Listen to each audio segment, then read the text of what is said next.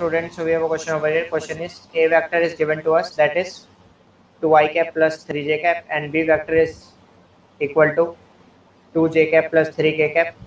Now the component of B along A. So I'm supposing that this is A, this is B. What is the component of B along A? That is B cos theta. So that's what we need to calculate, the value of B cos theta. So let's do that. So what is A dot B? A dot B is AB cos theta.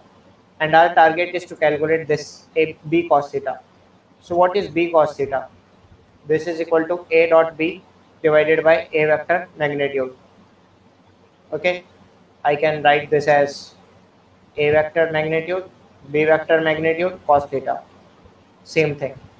So what is this A vector? 2i plus 3j and B vector is 2j plus 3k divided by A vector magnitude that is 2 square plus 3 square whole under root.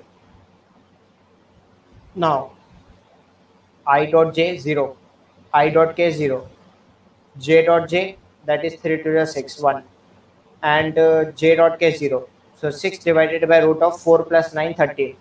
So the correct choice will be option number 4. Hope this answered your question. Thank you very much.